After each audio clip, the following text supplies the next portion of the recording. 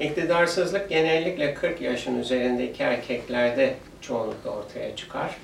Ve bu yaşlarda yine gördüğümüz kronik hastalıklar, bunların başında şeker hastalığı, kalp damar hastalıkları, kan yağlarının yükseklikleri ya da depresyon gibi göbek çevresinin yağlanmasıyla beraber seyreden metabolik hastalıklar sayılabilir. Sertleşmeyi sağlayan 5 tane mekanizma vardır. Bunların başında hormon sistemi, sinir sistemi, damar sistemi, penise kan taşıyan damar sistemi, penisin kendi yapısı ve bütün bunların da üzerinde psikolojik durum sertleşmeyi e, etkiler.